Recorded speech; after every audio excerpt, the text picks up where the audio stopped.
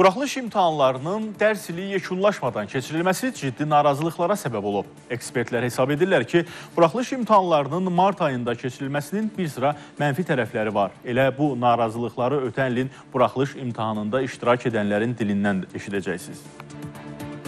Əvvəlki qayda belə idi ki, tədris ili, dərs ili bitirdi orta məktəblərdə. Ondan sonra Dövlət İmtahan Mərkəzi imtahan keçirdi.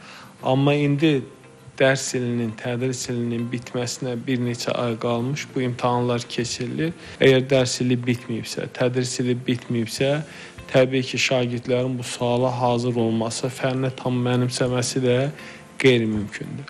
Biz proqramı çatdıra bilmədik. Yəni bəzi suallar oldu ki, yəni proqramda biz keçmədiyimiz halda yəni suallar düşmüşdü. Qəbul imtahanlarının nəticələri məktəblərin yox, hazırlıq kursları və repetitorların nəticəsidir və məhz repetitorlarda, hazırlıq kurslarda sentyabr ayından etibarən məhz 5-ci 6 sinifdən tədris proqramı başlayır və mart ayında bunun yekunlaşdırılması tələb olunur. Repetitorlar proqramı həm çatdırmaq, həm də təkrar keçmək üçün məcbur olub biraz tez-tez keçirlər. Məktəb proqramında hələ bitməyib, amma ki, e, yəni o suallar var imtahanda. Tələbələr tam e, yekunlaşdırmayıb mövzuları və yekunlaşmamış imtahana girəcəklər. Təbii ki, bu onlar üçün çətin bir haldır. Ekspertlər deyir ki, məhz mart ayında imtahanların keçirilməsi abituriyentlərin daha yaxşı hazırlaşmasına və yüksək bal toplamasına ciddi maneədir. Son 3 ilin qəbul və buraxılış imtahanının nəticələrini, qəbul və buraxılış imtahanlarının may ayında keçirildiyi tarixlə müqayisə edəndə görürük ki, son illərdə məhz bu nəticələrin aşağı düşməsinə gətirib çıxardı. Məhz bunun nəticəsidir ki, bir neçə ildir, ə, məsələn 700 bal toplayan yoxdur. Dövlət İmtahan Mərkəzi isə deyilənlərlə razılaşmır.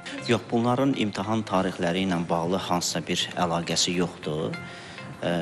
Bilirsiniz 2019-cu ildən etibarən burada artıq qəbulun modelində bir dəyişiklik edilibdi və burada artıq e, biz imtahan iştirakçılarının bacarıqlarını daha dərindən, daha diqqətlə yoxlayırıq. O ki qaldı keçirilməyən mövzudan sualların salınmasına, Ə, tədris ə, müddəti boyunca ə, hansısa bir keçirilməyən mövzudan sualların salınması bu tamamilə mifdir. Çünki Dövlət İmtahan Mərkəzi hər hansı bir imtahanı keçirərkən əvvəlcədən onun proqramını təqdim eləyir. Bəy Mahir qızı, Nüşabə Hidayət qızı, Bəkir Əşimov, Nadir Cəlilov, Space xəbər.